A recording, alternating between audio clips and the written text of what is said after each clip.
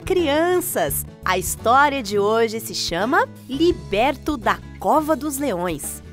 O verso para decorar está no livro de Daniel, no capítulo 6, verso 22, e diz: O meu Deus enviou o seu anjo, que fechou a boca dos leões. A mensagem é: adoro a Deus quando oro e espero suas respostas. Em alguns lugares do nosso mundo há pessoas a quem não é permitido adorar onde desejam. A nossa história bíblica de hoje é sobre alguém assim. Foi ordenado a ele que não adorasse a Deus. Vejamos o que ele fez e o que Deus fez a respeito. Correndo para um ponto onde pudessem ver a janela do quarto de Daniel, alguns dos governadores esperaram silenciosamente. Haviam enganado o rei e ele tinha assinado a lei que sugeriram. Durante 30 dias, ninguém poderia orar a não ser ao rei.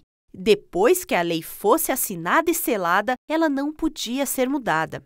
Será que Daniel oraria ao Deus do céu como sempre tinha feito? Eles acreditavam que sim.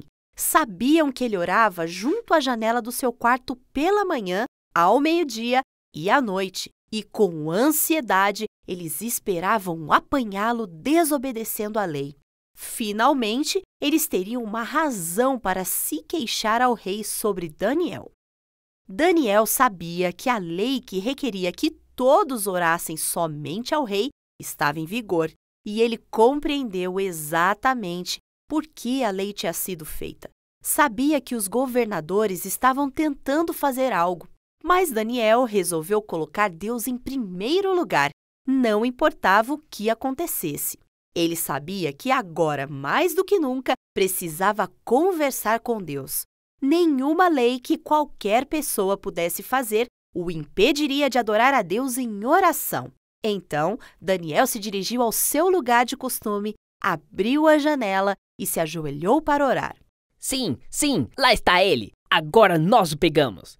Os espias observaram Daniel durante todo o dia. Eles viram Daniel se ajoelhar em oração de manhã, ao meio-dia e novamente à noite. Na manhã do dia seguinte, os governadores correram para o palácio. Ó oh, rei, vive para sempre. Sua Majestade não fez uma lei exigindo que todos orassem somente ao rei por 30 dias? O rei Dario observava o rosto dos que estavam diante dele ele quase podia adivinhar que eles tinham planejado alguma coisa má, e isso o preocupava. Ele esperou que eles continuassem. Rei Dario, nós encontramos alguém que desrespeitou a sua lei. Daniel continuou orando a seu Deus. Ele transgrediu a lei. O rei imediatamente compreendeu por que os homens tinham esperado tão ansiosos para que a lei fosse assinada.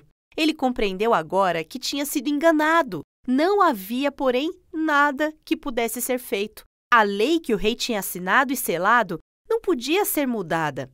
Com tristeza, o rei ordenou que Daniel fosse atirado na cova dos leões. Daniel, que o seu Deus o livre. Naquela noite, o rei Dario não conseguiu dormir. Quando os primeiros raios de sol atingiram os muros do palácio, apressadamente ele se dirigiu à cova dos leões. Daniel, você está vivo? Seu Deus o salvou? Ainda dentro da cova dos leões, Daniel respeitosamente respondeu: Ó oh, rei, vive para sempre. Meu Deus enviou seu anjo, que fechou a boca dos leões. Eles não me fizeram mal algum. Ele está vivo. Ele está vivo. Depressa, homens. Tirem Daniel de lá. As pessoas em volta de Daniel viram o amor e o poder de Deus porque Daniel tinha sido fiel em seu horário de oração e seu culto diário. Eles viram que o nosso Deus responde às orações. Daniel sabia que podia confiar em Deus, não importava o que acontecesse. E você pode demonstrar o amor de Deus às pessoas que o cercam através da sua fervorosa oração? Você está seguro de que Deus ouve as suas orações e as responde? Confie em Deus, não importa o que aconteça.